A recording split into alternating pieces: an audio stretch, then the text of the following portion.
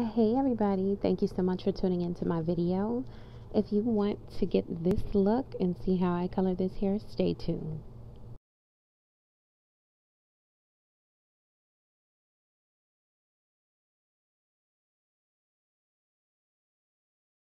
So I am going to be lifting this hair from black to red without bleaching the hair.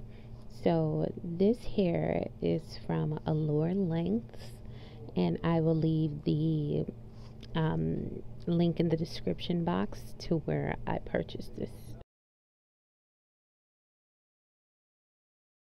I am just showing you the very poor construction that I did. I was rushing making this wig, so just showing you the construction of the wig before I go ahead and get started.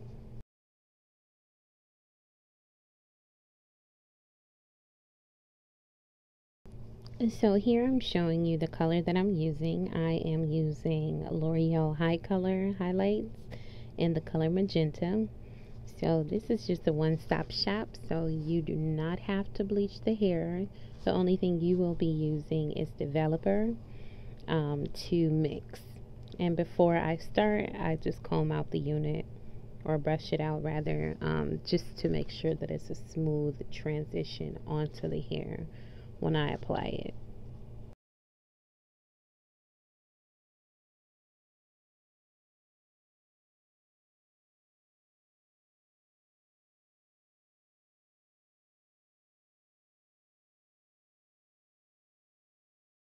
I do also wanted to let you all know this unit was about 10 months old um, here in the video while it was black. So it was some old hair and I just wanted to see how good this L'Oreal color would work. So that's why I decided to go ahead and color it. I'm sorry for me moving around. Child, what did I have on that day?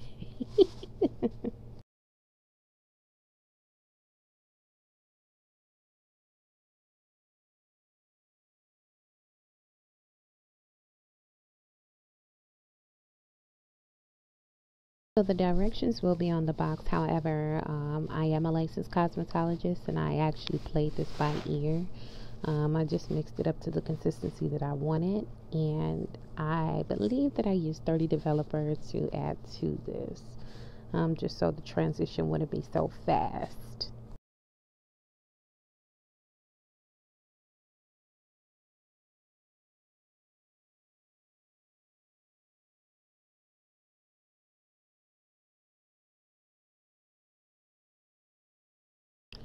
So this is how it will look coming right out of the tube. So that's not with any developer. That's just the color only.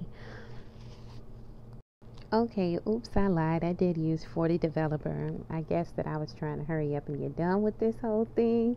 So I did use 40 developer in this particular video. Usually I only use 30 because 40 it usually lifts really, really fast. So um, if you're in a hurry, use 40, but you know, just keep your eye on it. And especially you want to work from front to, or I'm sorry, from the hairline to the nape with 40, um, or because the color is going to be shown at the hairline first rather than your nape. So, you know, you just play it by ear like that.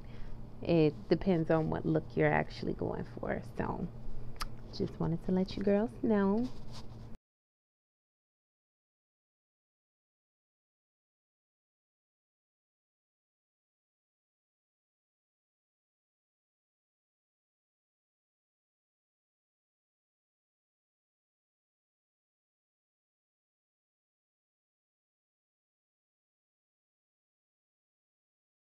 So here I'm laying my unit flat.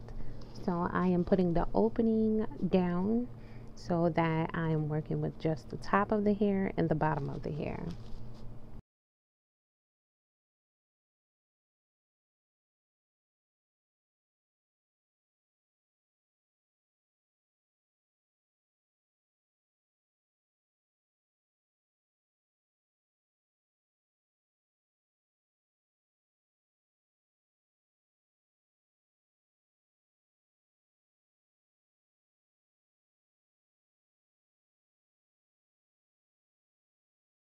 So at this point, because I'm doing an ombre effect pretty much um, to the root, I am starting with large chunks, with large strokes, um, just to cut down on time. Because at the end of this, everything will pretty much be like a red color with black undertones in there so that you can see it.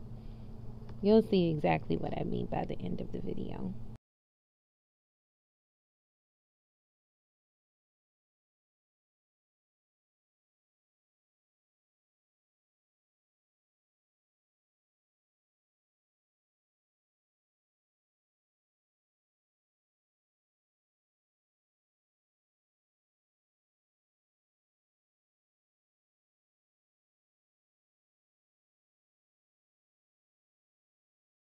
So you're going to start to see me open up the hair and that's just so that it's not black on the side that you're not coloring. So you have to go through the hair to make sure that you're getting all of it fully saturated and not just the top of the hair.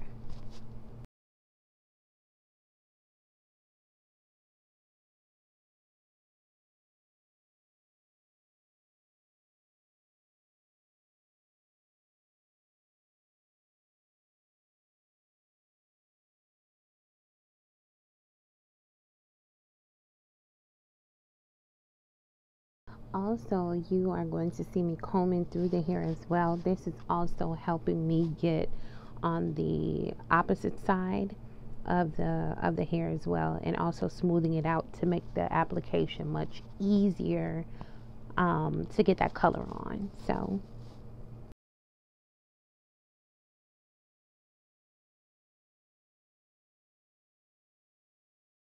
and be careful with lifting up the unit like if you have to lift up the unit at all because the red color can get onto the lace and trust me when I say it is hell to get off. So I still haven't found out a method of how to um, remove dye from the lace. So if I find something, trust me, y'all, it'll be a video on it because I did get a few little dabs of red on my lace, and I was like, what? Over. So now that the opening is upward, so I am just going through. See, if I would have left it like how it was, all of this portion here would have been black. So we don't want that. We want to get that fully saturated as well so it can lift up to red.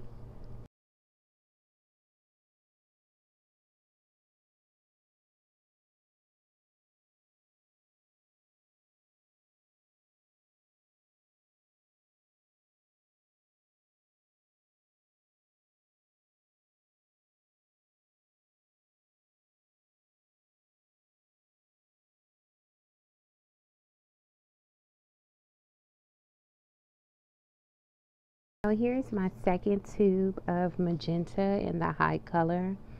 I am just adding this, repeating the same steps that I did at first. So I believe I only used about two tubes of the Hi Color.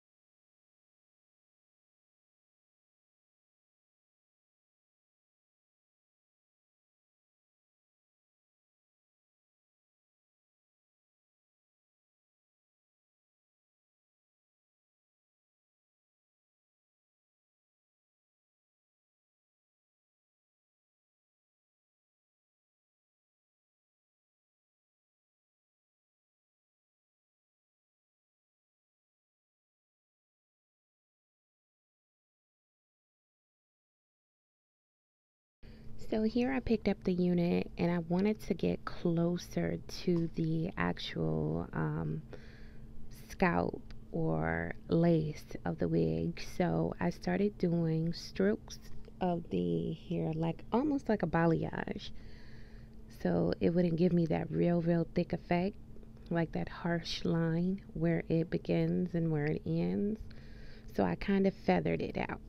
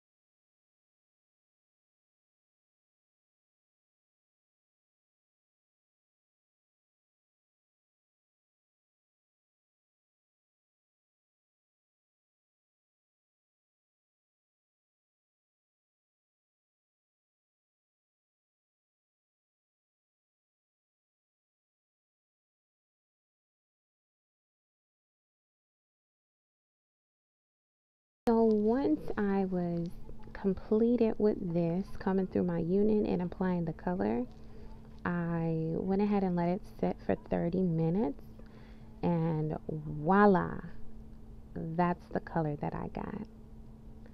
Thank you so much for watching my video. Make sure you like, comment, and subscribe. And just let me know what videos you all would like